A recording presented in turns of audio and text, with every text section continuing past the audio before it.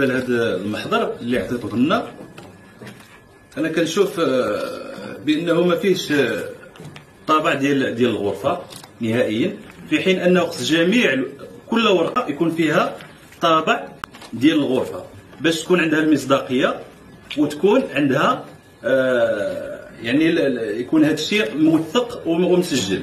دابا هذه هذا المحضر اللي عطيتوه لنا عبارة عن أوراق فما ما عندوش شي صفة يعني قانونية 100% في حين أنه كما كنشوفوا مثلا الوزاره الوصية كتصيفط لنا مثلا القانون الداخلي. راه راه راه طبعات فيه ورقة ورقة. ها أنتم طبع كامل كل ورقة فيها الطبع.